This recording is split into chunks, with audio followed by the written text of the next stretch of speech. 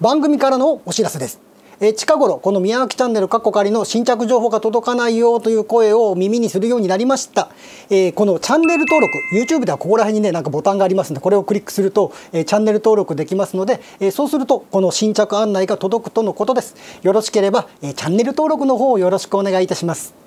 それでは本編始まるよ仲間陽気な引きこもり。IT ジャーナリストの宮脇敦です。よろしくお願いします。令和2年7月10日産経新聞が独自独自とドドンと打ち出した見出しを掲げました。実はこれ本末転倒でいかに独自ネタが少ないかを物語っているんです。珍しいからニュースニュースになるように独自ネタが少ないから独自とわざわざ掲げているということです。共同通信などからニュースネタを仕入れてそれを記事として出しているんです。つまり隣のコンビニで売ってるお惣菜を買ってきてそれを箱に詰め直してお弁当箱に詰め直して「えー、当店自慢のお弁当ですよ」と売り出しているようなそんな商売をしてるのが今の大新聞そしてテレビなんです。そんな新聞がたまに今ネット界隈で話題になっているポテトサラダポテトサラダを作って、え独自当店自慢の手作りポテトサラダまあ独自生地ですよとやっているのがこの見出しなんです。それはさておき記事の方に移りますと産経新聞の見出しは日本版シリコンバレーへ政府が東京横浜など4都市圏を選定とあります。こちらの記事には13日にも政府が発表するとあるのでつまり官邸方面からのリークだということになります。河合ご夫妻の件では検察のリークと思われる情報を読売新聞がキャッキャとばかりに連日一面で報じておりました。つまりマスコミの皆さんと霞が関方面の皆さんは密密密の密まあズブズブの関係でそんなんで国家権力の批判なんか本気でなんかできるわけがありません。だから私は今のマスコミがやっていることを権力の批判ごっこ批判ごっこと指摘するんです。そしてその答え合わせが令和2年7月14日の皆様の NHK の記事にありました。日本版シリコンバレーを目指しベンチャー拠点に4都市圏指定へとあるのですがこの見出しを書いている時にその記者さんが「だがちょっと待ってほしい」と気づかない時点で官邸方面霞が関方面の出したリリースをコピーペーストしているんだと分かります。その論拠を端的に示す前にこちらの NHK の記事の冒頭を紹介します。アメリカのシリコンバレーのようなベンチャー企業の活動拠点となる都市を整備するため政府は海外からの投資や人材の誘致などを促進するグローバル拠点都市に東京愛知大阪福岡を中心とする4つの都市圏を指定することになりました。IT やネット企業というとアメリカのシリコンバレーが代名詞のようになっています。それを便宜的に使うことはともかく人口や国土の大きさなどなどまるっと含めた国力の違う日本においてそれを4箇所4箇所も作ろうというのですからこれは口頭無形だということです。つまり一つもシリコンバレーのない日本でいきなり4つも作ろうというんです。もはや希望というより妄想であって実現を目指す政策ではないということです。そしてスクープした産経新聞の記事とは違い NHK にはこんなくだりがありました。海外からの投資や人材の誘致などを促進する。つまり何のことはない。外国の皆さんおいでくださいという外資の呼び込みでいつぞやの金融ビッグバンを彷彿とさせます。また地域の選定にあたり公募したところ17の自治体が手を挙げたということでその結果次のように決まったと紹介しております。選定の結果東京都を中心に横浜市茨城県つくば市などの近郊を加えた首都圏。愛知県と名古屋市浜松市を合わせた中部地域。大阪市京都市神戸市の関西圏。福岡市の4つの都市圏を指定することになりましたとさ。はい。福岡市を除いた3つのエリアというのはやったら広いんです。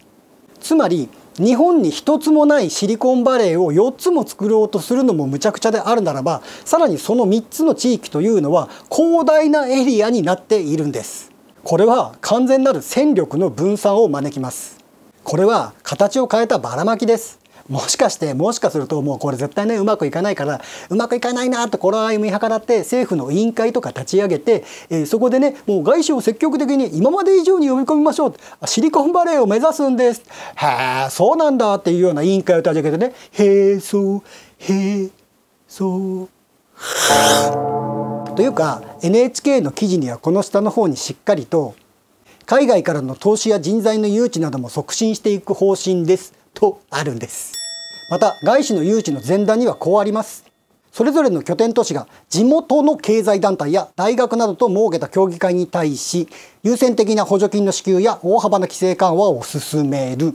はい。利権構造の誕生です。そもそも民間のベンチャー企業を育てるという話です。それぞれの地域の経済団体が可能性のあるこれからの可能性のあるベンチャーを見極める目を持っていたのであれば自分たちでその商売をやってるという話じゃないですか。それができていない人たちが審査したり支援したりしようとするんです。勢い的外れになるということは、えー、この私地元の足立区で嫌というほど見てきました。21世紀の初頭企業ブームというのがありました。我が町足立区も起業家を応援しようという企画とかイベントをやっておりました。そこにこの私も縁があってお呼ばれしたのでとことことこって参加してみるとその起業家を育てる仕組みというのはもともとそれぞれの会社の2代目3代目これを育てるための仕組みだったんです。これはその場を取り仕切っていた講師講師の先生から直接聞いた話です。講師の方は経営コンサルタントの先生で彼らにとってみても将来のお客様を見つけるいわゆる青互いの場。それが起業家支援足立区がやってた起業家支援の実態でした。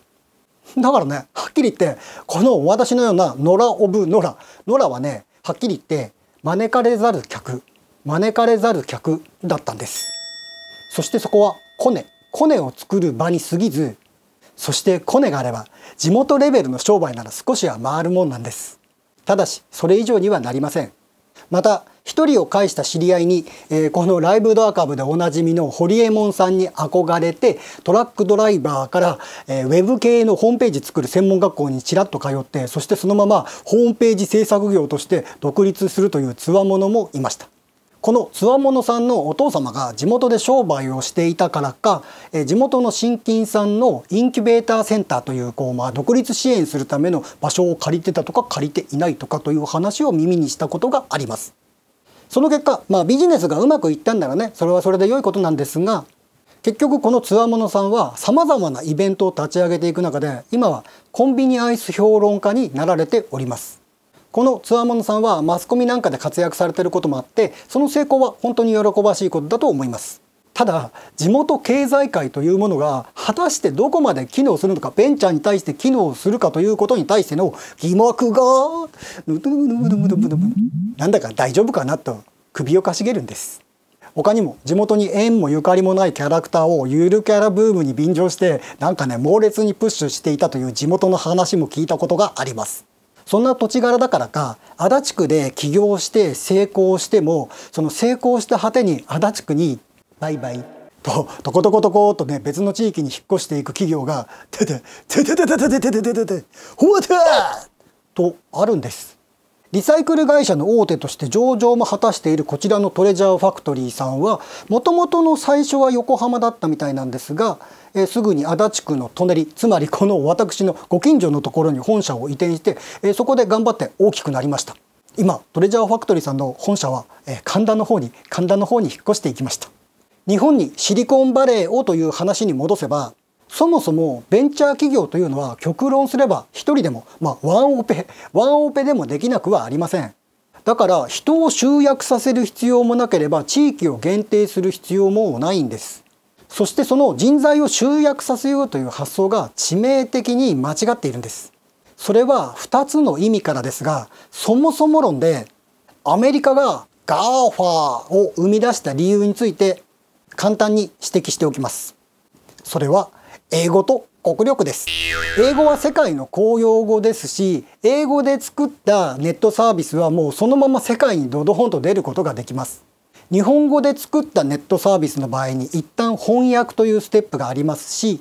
同時に日本社会ではこう完璧なサービスというものを求めたがりますその果てにマイナポイントというねあのマイナンバーカードと紐付けてポイントがつくとかっていうあのサービスあのサービスで IE 縛り IE 縛りという問題が発生しております IE 縛りとはあのマイクロソフトがもはやこの開発を終了したウェブブラウザーであるインターネットエクスプローラー今そのマイナポイントをパソコンで申請しようとすると IE じゃないとちゃんと動かないよという問題が発生しているということです。実際のところ今国内のブラウザーのシェアは Google が作っている Chrome が60%のシェアを占めております。しかしお役所仕事において前例踏襲主義というのは何よりも優先される条件であるという疑惑がぬぷぬぷぬぷぬぷぬぷぬ今時だったらスマホで申請するという読みもあったのかもしれませんが例えばネットベンチャーなどがあうちであの Chrome 対応のシステム作りますよとプレゼンをかけても今までは IE だから今回も IE と断ると拒否されるシーンが頭に浮かんで離れません。もちろん、えその後 Chrome に対応しますよと発表はしております。また何より国力の違いというのがあってフランスが GAFA に対してデジタル課税をしようとしました。するとアメリカはすかさず報復関税だと発表しました。こんなことを我が日本国じゃできません。それでは日本のシリコンバレーというのが致命的にやんばいよという理由を2つ指摘します。それは先ほどの IE 縛りにも隣接するのですが日本社会というのは ゼロリスクゼロリスクを求めたがります。そこにシリコンバレー的なとにかくやっちゃえあしくじったテヘペロやり直しだっていうこういう産業というのは日本社会にちょっと向かない。ある意味苦手な分野。そこに政府が予算を投じて舵を切るというのがそもそも論で間違いだと私は考えるんです。無論ネットベンチャーを軽んじてるわけではありません。ただ繰り返しになりますがベンチャー企業というのはワンオペワンオペでもできますしごく限られた人数からでも立ち上げることができるんです。ましてやネット回線と電気があれば場所も選びません。才能にあふれた野心家一人いれば世界を変えることができる。それがネットベンチャーの魅力なんです。だから地域に集約する理由がないんです。一方地域に集約させるというその発想が日本のストロングポイントにもつながるというのが致命的に間違えているとするもう一つの理由です。一つどころに集まって向く産業というのはものづくりです。自動車精密機器一時期の半導体のようなものづくりです。今回のニュータイプで明らかになったサプライチェーンのこうグローバルシフトというのはむしろ日本にとってチャンスになるかもしれないんです。また日本にはパナソニック松下やトヨタという成功事例がもうすでにあるんです。こうした日本のかつての成功事例を令和版にアップデートする。それこそが今政府が取り組むべき政策だと私は考えるんです。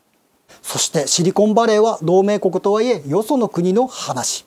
よそはよそうちはうちという昭和の説教を思い出す今日この頃でございます。人には得て増えてがあります。このニュータイプで始まったテレワークが向く人もいれば向かない人もいます。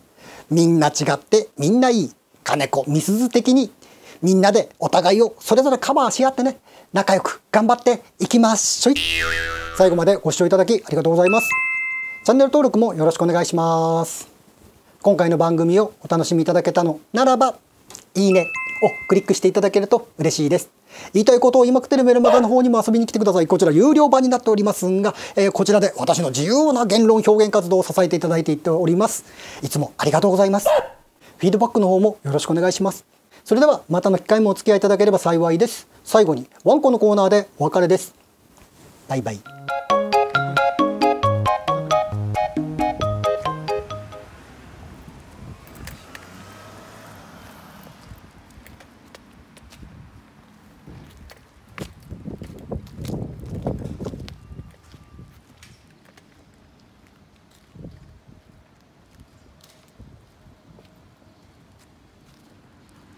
桜